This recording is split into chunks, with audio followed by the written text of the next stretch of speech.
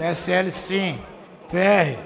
Senhor presidente, eu queria que esses discursos aqui gravados aqui hoje em plenário fossem usados nos interiores do nosso Tocantins, do Brasil, ó, onde se tem passagem a preços exorbitantes, pelo simples fato de não haver concorrência no mercado, pelo simples fato de pouquíssimas empresas que aí estão, três agora, fazem no mercado o seu quintal de casa para ali definir suas regras e preços.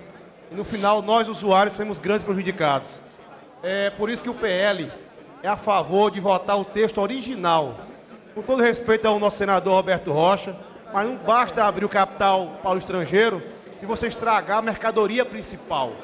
E o texto original, senador Herculano, é que está ao contento, não apenas do mercado, mas de todos nós, os usuários. Então, o PL encaminha sim para que se vote aqui o texto original do MP 863.